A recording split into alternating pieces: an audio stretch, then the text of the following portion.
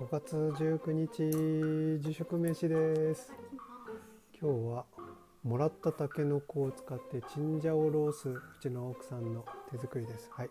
オリジナルで手作りです。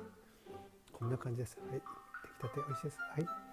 あと新潟名物のっぺです。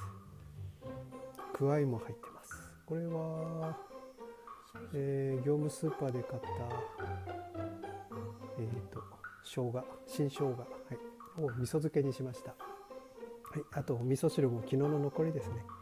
締めて、えー、と今日は2人で合わせて全部で750円ぐらいです。はい、えー、1人換算で375円ぐらいです。はい。